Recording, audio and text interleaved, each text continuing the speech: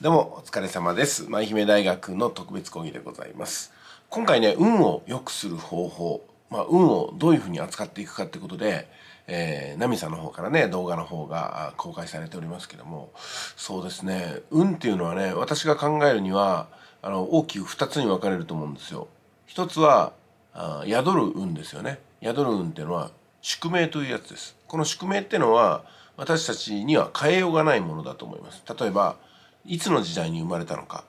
男性に生まれたのか女性に生まれたのかどんな家庭に生まれたのかどの時代に生まれどの場所に生まれたのか、まあ、こういったことってのは生まれた瞬間にもうね選択ができないと、うん、で生まれた瞬間はまあ赤ちゃんですから選択のしようがないですよね、まあ、こういったものってのは、うん、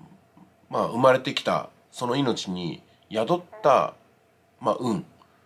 宿命なのかなと思うんですよね。これと対比してですねもう一つの運っていうのは操作できる運ですね。これがですねまあ運命なのかなと思いますね。宿命と運命こういった2つの運があって私たちが操作できるのは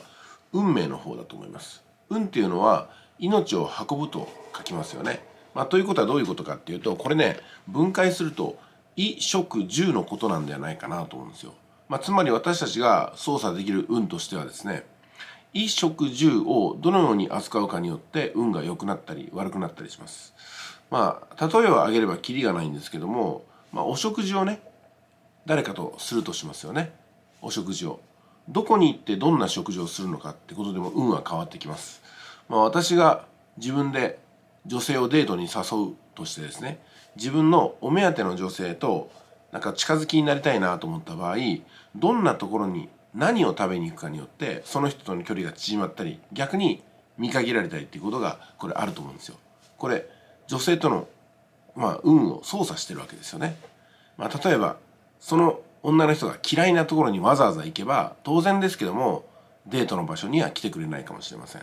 でもとっても素敵なところを演出付きでね用意するともしかしたらその女性は一緒にお食事をした時に雰囲気いいなって感じでねコロッといくかもしれませんよね。まあ、こういうふうにね食事っていうのはどこで何を食べるかそして自分がどんな振る舞いをして何を着ていくのかどんな会話をそこに混ぜていくのかさまざまな要因によって運を操っていけるんではないかなと思うんですよ。それからですね食べるものですよね。粗末なものを食べたら運が悪くなるっていうのは例えば、ね、お腹を大事な時に壊してしまってね、えー、あちょっとついてないなみたいなことになっちゃうかもしれません。でもものすごく衛生的で美味しいものを食べると気分が良くなってねその結果あ別の運を呼び込むことにもつながるんじゃないかなと思ったりしますね。それから衣食住なんですけどこれ全部言うとキリがないんですけどもね、うん、なんか着るものによっても運って変わると思うんですよ。目立つとかね目立たないとかっていうのもあると思いますし気に入られるとか気に入られないとかね。うん、そういったこともあると思いますんで着るものとかもねすごく大事なんじゃないかなと思います。まあ、女性なんてのはね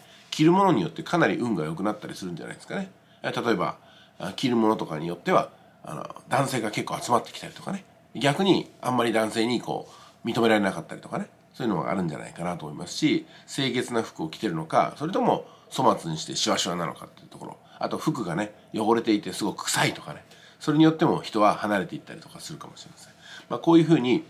運っていうのは操作できるものと操作できないものとかがあって操作できないものは宿っているもの。これ宿命ですよね。そしてもう一つ操作できるのは運命ってやつでこれは衣食住のことだよっていうふうに解釈するようにしています。衣食住を整えることによって自分の運はどんどんどんどん良くすることができるんじゃないかなと思うけどもどうなんでしょうかね。はい、えー、以上でございます。あちなみにですね、えー、ここからね舞姫大学の奈美さんにちょっとねクエスチョンなんですけどもいや最近ね私の方で、えー、話題に出したあの視聴者さんからのお悩み相談であの金銭的にちょっと余裕がないんで自分はあの子供を持つことを諦めようと思うんだけどどう思いますかってことでクエスチョンいただいたんですよ。で私はいろいろと話したあげくですね最終的な結果としてそれでも産んだ方がいいというふうに締めました。で、えーと、私のね、えー、視聴者さんの中で、まあ、ノクさんって方がいらっしゃるんですけどもこれに反応して動画を作ってくださってやっぱり産んだ方がいいんじゃないのっていうふうに言われてましたね。うん、これは細かい状況までは分からないんで難しいんですけどもあのやっぱりね自分が貧乏の中で子供を産んだらね子供にやっぱりこう苦労させるし幸せにしてあげることができないから産むのをやめたっていうふうに、うん、そういうふうにねあの私に相談してくださった方お話いただいたんですけどもあのそれに対してはね私ね子供が不幸か幸せかは子供が決めることだから産む前に親が決めることじゃないんじゃないかなっていうところ。それからどちらにしても生命がこの世にもたらされることと生まれるチャンスをねもらえないことっていうふうに考えるとうんやっぱり貧乏でも生まれてきた方がいいと。そしてむしろねお金がなくて忙しい中でも大切に子供を育てているそういった親を見ればね子供は不幸を感じるのかなと、うん、ああ自分のお父さんお母さんはこの人でよかったっていうふうに逆に思うんじゃないかなと想像したんですよね。まあ、どちらにしても私は自分の体験も込みでお話したんですけども自分の子供がねいないことを想定すると、うん、強い深い悲しみに今はね駆られますね、だからどんなに苦しくても未来が見えなくてもチャンスがあるなら健康的なねチャンスとかねあるんだったら産んでみるといいんではないかなと思いますね。まあ、これに対してねちょっと前の世代の方にあの相談するとお金がなくたって我が家は子供を産んだよとか言うんですよね。うん、確かにね昭和40年代とか50年代とかっていうのはお金がない中子供を産んでもね経済成長してましたから子供が5歳とか10歳になるまでにものすごく所得が上がったみたいなことが起きたんですよ。だからお金がない中でもあのちゃんとね子供っていうのはいわゆる高度経済成長がその軌道に乗っけてくれたところがありますけども今日本はね経済が縮小していって絶望的なあの進み方をしてますからねだから逆に言うと今お金がある人でも5年後10年後は貧困になる可能性が非常に高いわけですよ。だから昔のような高度経済成長の時と今みたいなあの経済後退してる日本と同じようにやるとちょっと話が噛み合わなくなってくるかなってことですよね。ちなみに相談してくださった方は20代、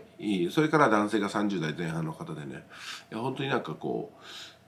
出産する家庭を持つにはとってもいいタイミングだなとは思うんですけども、それでもね、そこまでお悩みだっていうことなんで、今私がお話したことをよく捉えてるんでしょうね。年々給料が下がる。それから、まあ、いろんなところで社会が疲弊している。しまいには戦争まで起きて物価高が起きてね。それでも日本という国の制度は国民にとても冷たくなっていく一方だってことでねいろいろ考えて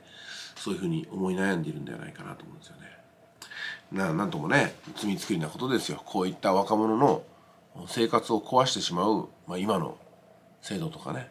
それから経済的な規模の縮小っていうのはね、はいじゃあ今回以上でございます。お疲れ様です。